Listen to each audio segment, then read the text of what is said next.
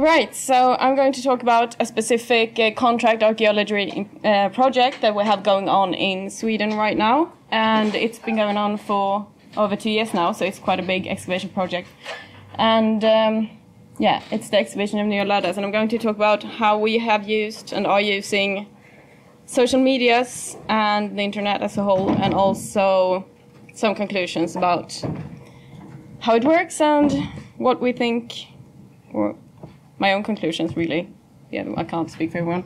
Um, who am I? Um, my name is Clara, and I work for a museum in Western Sweden.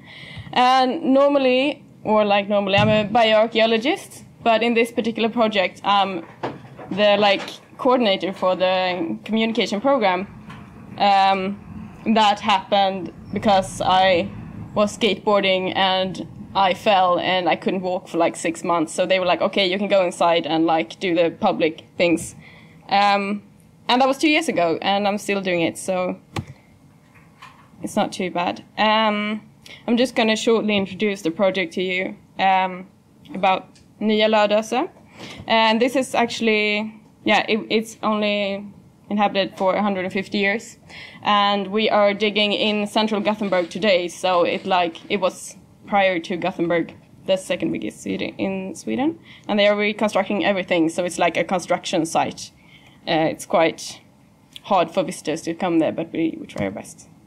Uh, it's the largest urban ex um, archaeological excavation ever undertaken in that part of the country. And uh, it's a bit special because this is a collaboration between three different companies. So it's, I think right now there are about 30 people excavating, and it, the season is from like February to December. So it's like quite an intense project, and this is the third year we are doing it.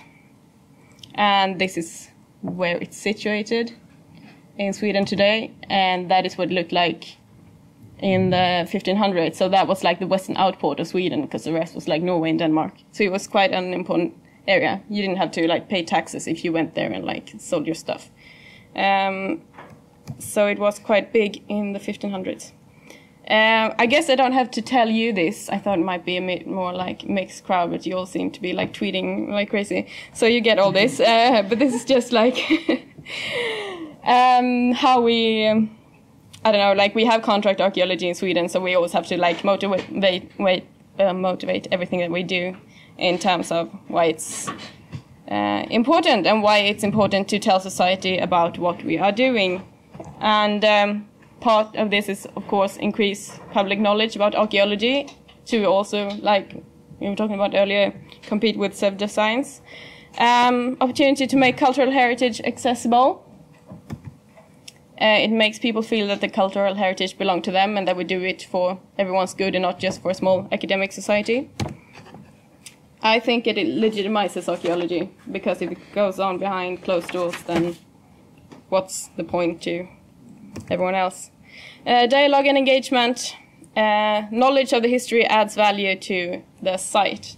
And uh, I guess that this is, yeah, nothing surprising, but it makes people appreciate the history more and actually the current place.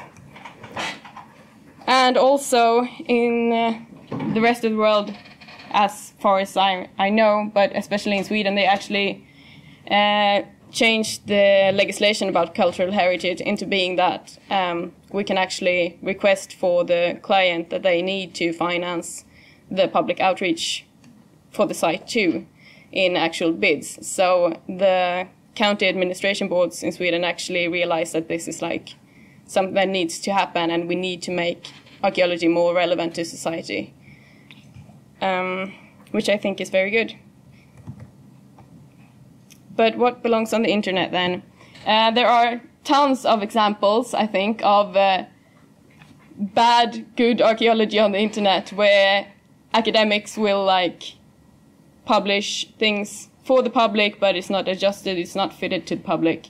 It's fitted for someone who knows the language that we use and what we talk about and needed not a pre-knowledge to understand it. And um, of course, there are forums for that, for academia and such things too. But the social media archaeology, I think, needs to go through a few steps. And uh, one is that this is how I think. it should happen. That you investigate something and you document it, of course, and then you need to interpret what you find based on knowledge and experience, and then this interpretation needs to be adjusted to your to your target group, and that interpretation is what needs to go on the internet for the general public.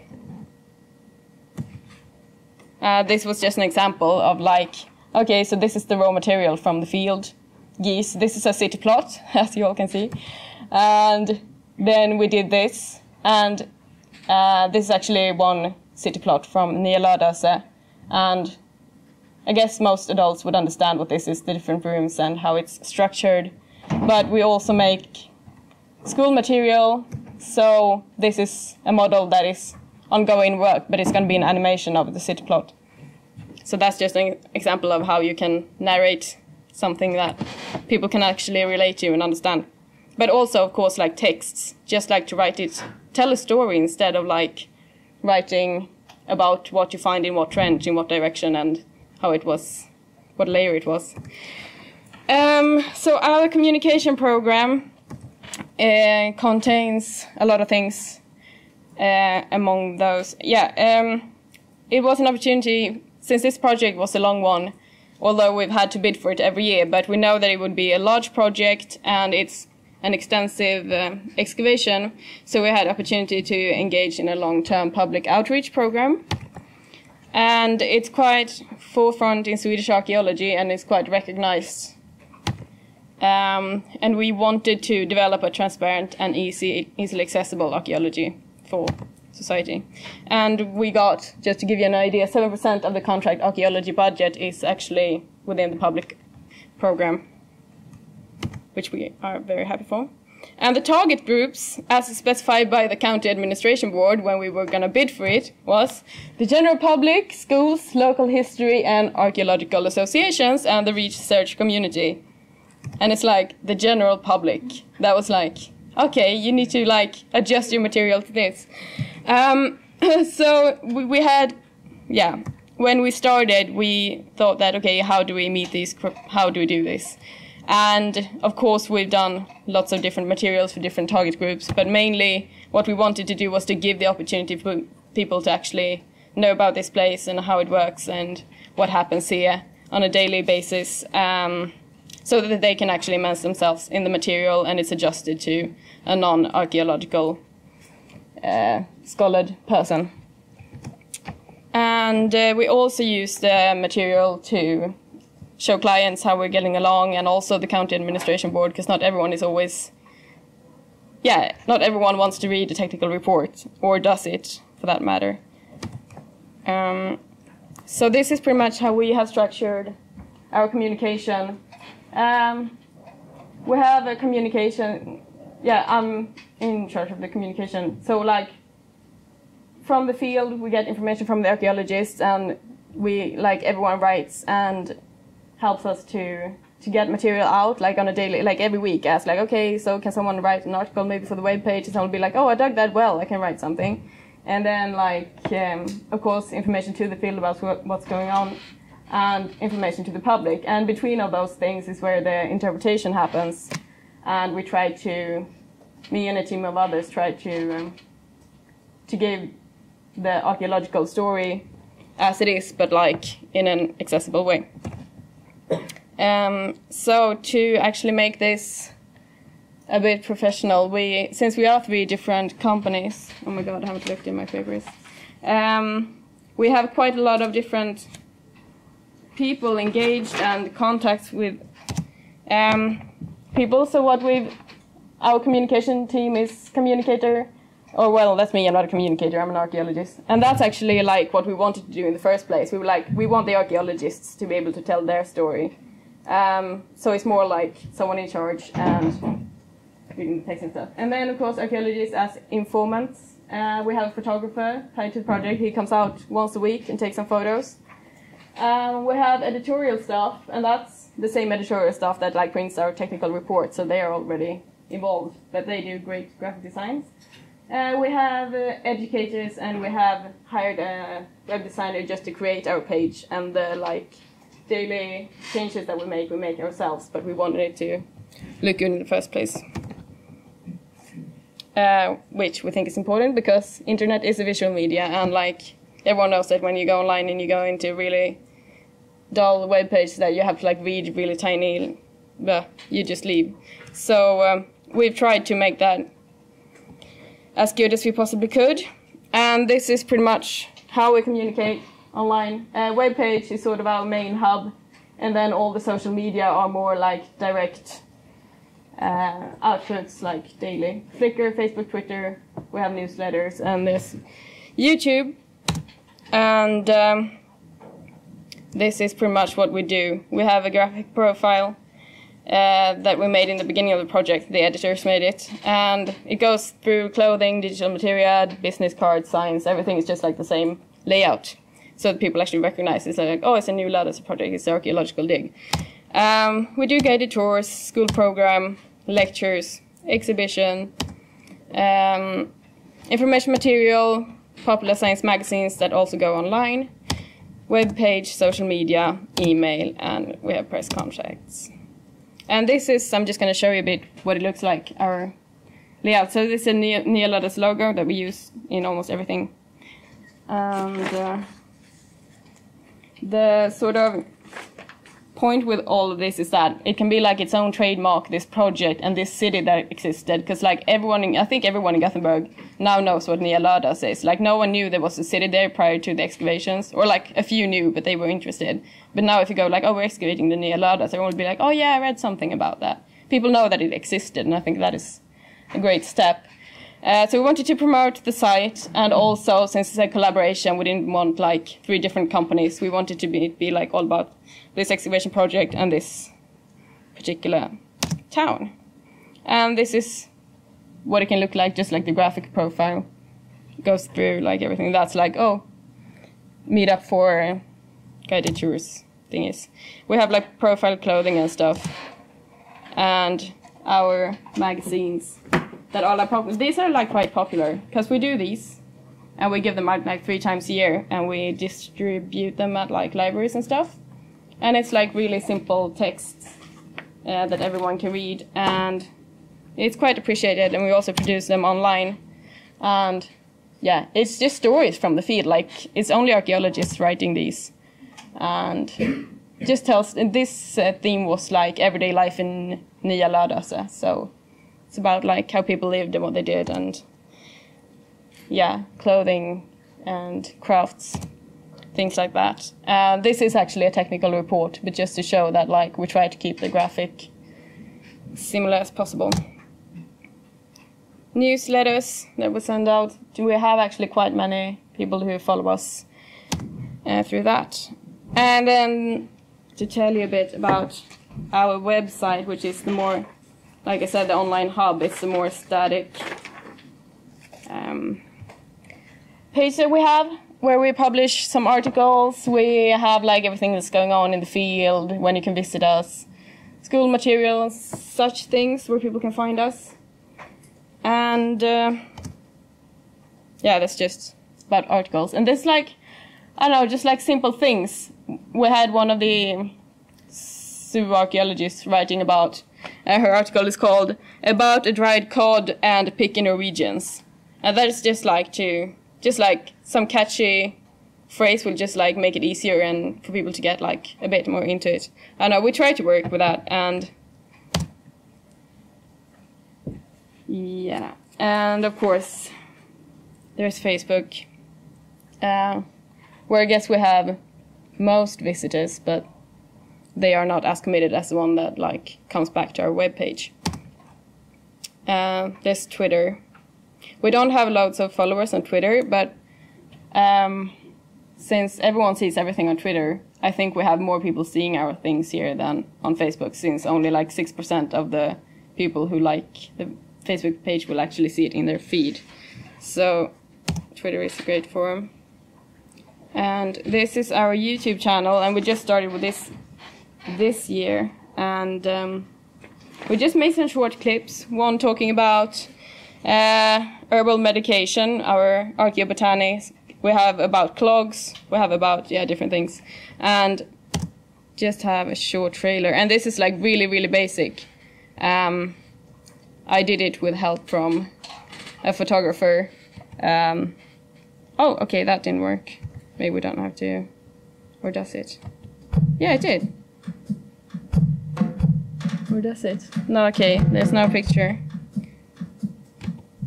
Oh yeah, there we go.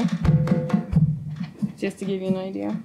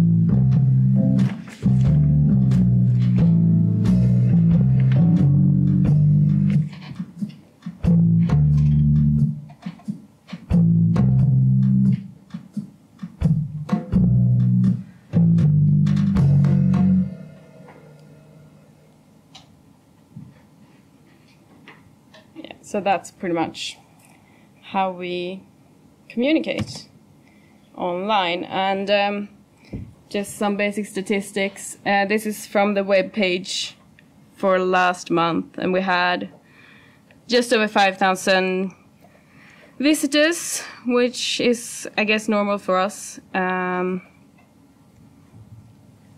and the every second visitor is resident in Gothenburg, which is quite good since it's our main target group is like the neighboring, um, yeah, the city. Uh, it's an even distribution between female and male visitors, and a third of the visitors are using mobile devices. So we try to keep our webpage as good for like um, tablets and stuff as possible. And this is something that we learned along the way, but like about 50% of our visitors came through referral, and that's we we don't have that many referring to us. We have like the Gothenburg City Museum, and we have the city of Gothenburg. They sometimes promote our webpage, but that's still like 50% of our visitors. Um, so that's important, and I think we should work more with trying to get people to to tell people about us because apparently people have an interest in this when they just like happen to stumble upon us. And then there's organic search, uh, direct search, or through social media is pretty much the same quantity. Uh, demography of visitors. I was going to show you for the web page, but when I was in Google Analytics making this presentation, I somehow deleted everything. Uh, so this is from Facebook, but it, it actually looks quite similar. Um, there are, of course, most people from Gothenburg, but actually there are like people from I don't know how good you can tell, but yeah, there are some different languages. Swedish, of course, is the great one, and then there's English, and I guess that's like a bit of a. There are some difficulties because many Swedes would have like English set on their key- keyboards, and then that would be like confusing. But there are from other countries too. Uh, Danish, Norwegian, of course, Finnish, because they can read Swedish, but then Italian, Polish. We have people from other parts of the world too. Um, but I guess the most important things for us here is to see um, which age groups we reach here. And of course, like most are between 24 to 54. That's like where you can see like loads of users.